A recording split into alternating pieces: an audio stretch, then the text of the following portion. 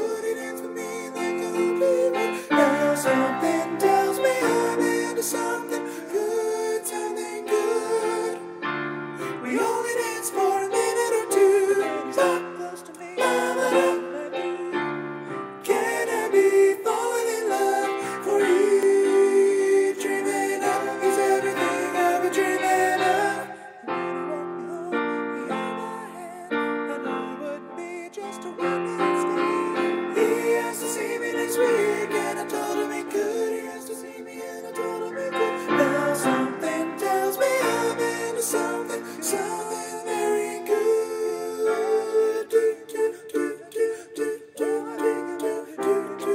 It's only right to the boy you love. So happy together.